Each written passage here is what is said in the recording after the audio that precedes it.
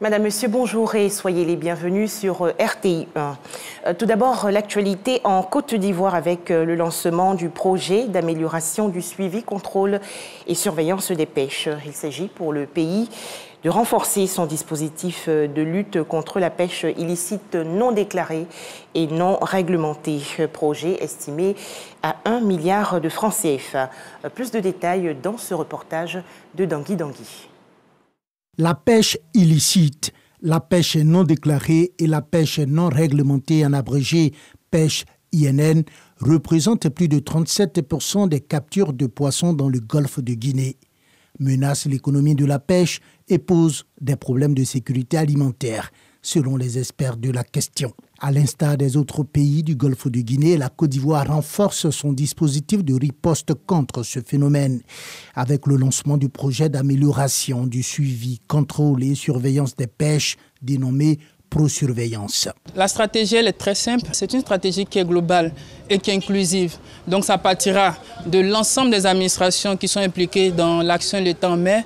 Ça partira également avec l'ensemble des parties prenantes, c'est-à-dire les acteurs du secteur, pour qu'on ait une surveillance à la fois participative et inclusive. En luttant contre la pêche INN, le projet d'amélioration du suivi, contrôle, surveillance des pêches vient protéger et renforcer la compétitivité et la productivité de la filière pêche. Pro-surveillance contribuera à l'amélioration de la sécurité alimentaire, l'amélioration des conditions nutritionnelles des consommateurs, l'augmentation des revenus des acteurs des chaînes de valeur, en particulier les femmes et les jeunes, la création d'emplois, l'accroissement de la productivité et de la compétitivité de la filière, l'obtention de données fiables sur les captures.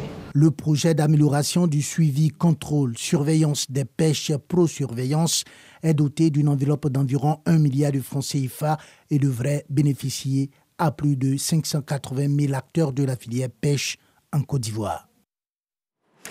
Toujours en Côte d'Ivoire, le lancement hier dans la commune de Cocody du projet de mise en œuvre d'un système de management de la sécurité de l'information et de sa certification selon la norme ISO 27001, une initiative de la Haute Autorité pour la bonne gouvernance appuyée par la coopération allemande. Le point dans le journal de 13 heures.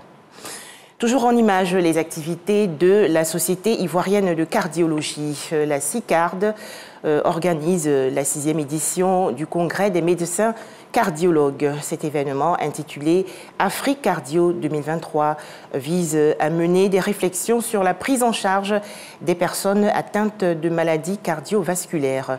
Plus de 600 professionnels de la santé sont attendus du 3 au 5 mai prochain.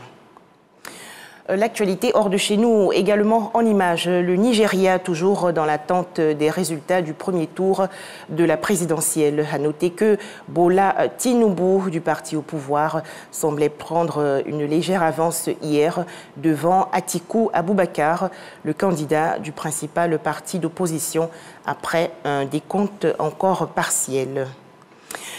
La Banque mondiale estime les dégâts occasionnés par les deux séismes survenus le 6 février dernier en Turquie à 34 milliards de dollars.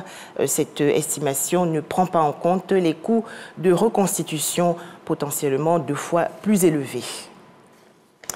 Dernière euh, information, le Premier ministre britannique Rishi Sunak et la présidente de la Commission européenne, Ursula von der Leyen, sont parvenus hier à un accord pour mettre fin à plus d'un an de brouille sur les dispositions post-Brexit en Irlande du Nord. Le document allège notamment les contrôles douaniers.